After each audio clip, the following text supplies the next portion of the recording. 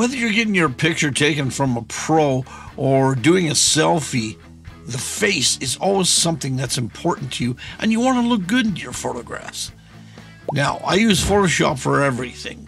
And when doing portraits, there's, you know, like 97 ways of doing things. Wouldn't it be great to do it all in one program? Well, that's why I'd like to introduce you to Portrait Pro from Anthropics. The version is uh, 24.3, and it's an all in one solution to do portraits. So let me introduce you to this software and we'll see how it goes. Let's go. Now, I've been using this program since roughly about 2021, and I've found it to be just the best there is on the market outside of doing everything in Photoshop. So let's dive in and I'll show you some of the features and what's going on with this program. All right, I got this picture of this girl here, and we're going to work on her face to make her picture the best it can be. Now, first, let's copy the layer and make it a smart object. I always use everything in Photoshop as a plugin, which is great because you can come out of Photoshop and do even more edits right away if you want. You don't have to open and close two programs to get this done. Everything's done for you. So let's go under Filter, Anthropics, and Portrait Pro. Now, first thing it's going to do is it's going to find the face and it's going to map out where the face is and everything about it. Now, the first thing you want to do though is let's go back under File and adjust the outlines because you can see that the eyebrows are just a bit off on this one side and you can shape it how you want. Both eyebrows, when you start doing the eyebrows. Nose looks good, mouth looks good. We might have to bring this down a bit. Let's bring the chin up. And everything looks good. So let's go next here.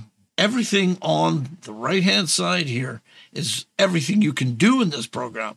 It's amazing how many different things it'll do and do it really well. Today, I'd like to just start with a little bit of skin smoothing if I could. So let's go over to skin smoothing. Right away, you can go and edit the mask. So let's check out what the mask looks like. We'll zoom out a bit here. And does the mask look good? It kind of looks good, yeah, but looks like a little bit of the eyebrow here is a bit messed up. So let's zoom in here a bit and we can cut back some of it because that's the eyebrow there. And we can extend it. So let's put this in here. Fix this right up about here. Cut back the mistake I just made. All right, now always make sure you hit refine edge and it fixes it for you. Very cool. I like that. So let's hit OK. Now, the first thing I want to do is I want to go down to texture. Now, under texture, we can go and we can fix the blemishes of what's going on in her face. Now, the first thing I want to do is I want to look up do I want to do everything else? Like imperfections, let's bring it up it kind of lightens them a bit, which is, isn't bad. So let's leave that at about 75. Now, for spot removal, let's go all the way down to the bottom for maximum sensitivity. Choose the brush at 100%, and let's just color in anything else we want to do. And it's that simple.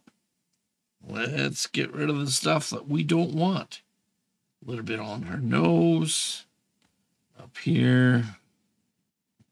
All right. And it all looks very natural. So now we can go back into details. Let's back it off a bit.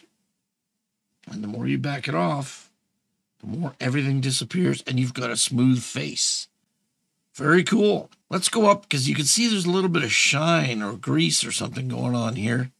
So let's see if we can remove shine. Let's go from 60 to 100. It Really doesn't remove a lot because that's probably not the case. So we'll undo that.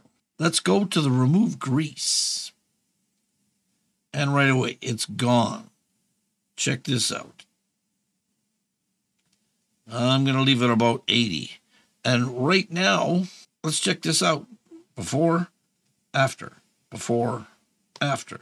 Now you can see when we do a before and after that her face actually moves. So what it does is it'll fix the face and make it so you can see the picture and the face properly. Before, after.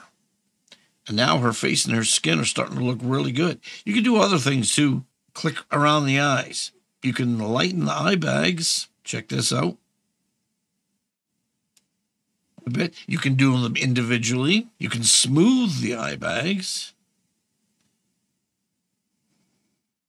Back and forth, making her face even nicer.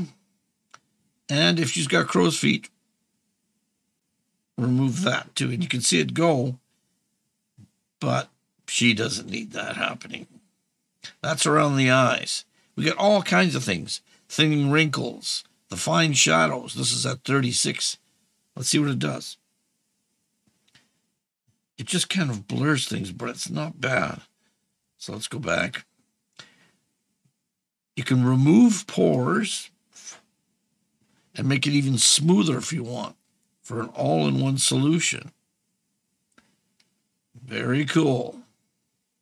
Now, also, you can trim the eyebrows, you can do the texture. This is just amazing stuff, all in one package. Before, after, before, after. Now, if we go back, we can see shape, we can see lighting, color. Lighting is really important, especially if you didn't get it right or if you took a selfie and it doesn't work. Let's check out the lighting for one second. Now, here is where the light is going right on her face. So, what if I wanted to come from the one side or possibly the other side to make it a little more dramatic? Very cool. Let's go back to the center here. Also, you can do two things one called modeling, check it out. And it brings in her face on by her cheeks and makes it even more dramatic. I'm digging it. Now, you can also fix lighting if it's not quite what you want. Now, watch her how her face changes. It's just a bit. So let's go back. Now, there's so many different things that you can do. Cheekbones, there they are. Plus, you're given the option of working on the cheekbones separately and or using the shadows and left kick lights. Check this out.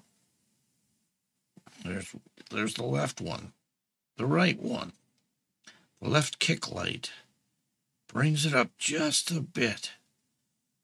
The right kick light. Again, there's a light and you can bring it up. Change her eyes, smoky eyes. Let's go from 38 and make it up a bit or down. Remove it if you want. It's endless here. Change the lighting to make it look like she's got a pout. Before, after. I'm digging it. Let's sculpt the nose. It brings out the light in the nose here, so you can bring that out if you wish just like her chin. It dims the light on her neck and supports her chin. Brilliant stuff. So this is just a taste. Let's go out. So hit the button up here. Before, after, before, after. And we're just getting started. Anthropics Portrait Pro version 24.3 is just amazing stuff. And you don't have to remember or do like 97 different ways you can do it in Photoshop. It's all in one program. That's what I really like about it. Now, as I showed you there, we're just getting started with this portrait software, which is just amazing of what it can do. In future videos, I'll show you how to do everything from your hair to your eyes to whatever. I want to go through all the settings and, and see what we can do. I love using Photoshop for this kind of stuff, but I don't have to memorize anything. You can just go in and do it. I love this stuff. Now, my review of this software is totally unpaid. I've just used it for a few years now, and I just love it. I want to show you guys what's possible with Anthropics Portrait Pro. You gotta be digging it. If you're getting anything out of my tutorials, please like and subscribe. Leave a comment below. Let me know what's going on. I'm Don from Photo 911. See ya.